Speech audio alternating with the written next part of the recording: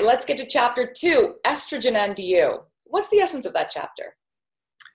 Well, the essence of that chapter, Estrogen and You, is really to say that, you know, when we think about women, what do we think about?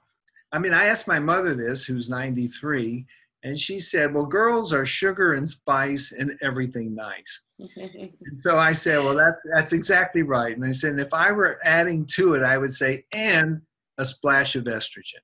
Ah. Because when you think about it, every major event for women involves estrogen. It's true. When you go through puberty, your estrogen is going from baseline up to in an erratic way, but it's going up towards your reproductive levels. Mm-hmm. And then with that estrogen comes your curvy hips, it comes your breast development, it changes your brain. You start thinking about boys and you start thinking about sexual things that come to mind. And all these things are going on because of these hormonal changes. Now, it's not only estrogen, but it's primarily estrogen.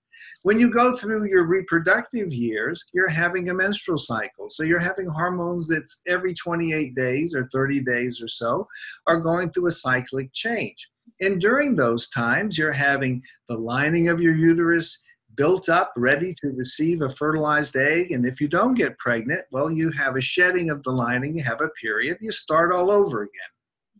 And when you go from your transition from reproduction into perimenopause, that window of time that precedes menopause, it could be up to 10 years in length. When you're going through that time frame, once again, we're talking about the same hormonal changes that were happening in puberty, only they're happening backwards. Mm. So, as Ginger Rogers said to Fred Astaire, I had to do everything you had to do, only in high heels and backwards. so, so the same hormonal things were going on uh, for women backwards. And then when you get to menopause, now you have those hormones back down to prepubertal levels again uh, at a very baseline.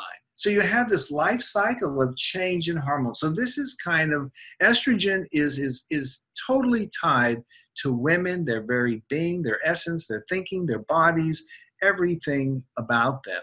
And so it's an integral part of a woman's life.